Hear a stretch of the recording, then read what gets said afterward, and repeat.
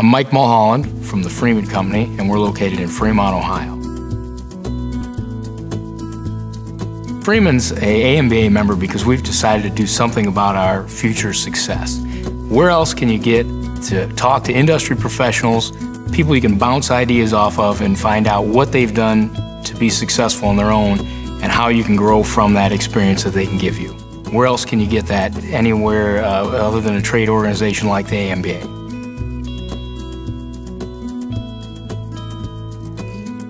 Some of the benefits that we've gotten from belonging to the AMBA is being able to talk to people who are in the same industry that we are,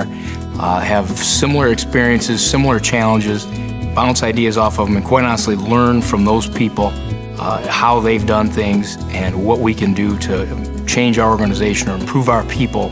uh, and, and get better as a company. In general, favorite events for, for us have got to be the uh, shop tours, where you get to take people from our facility, go see other folks, sometimes competitors, sometimes not, but all who have good ideas about how they're doing things and different ways we can improve and see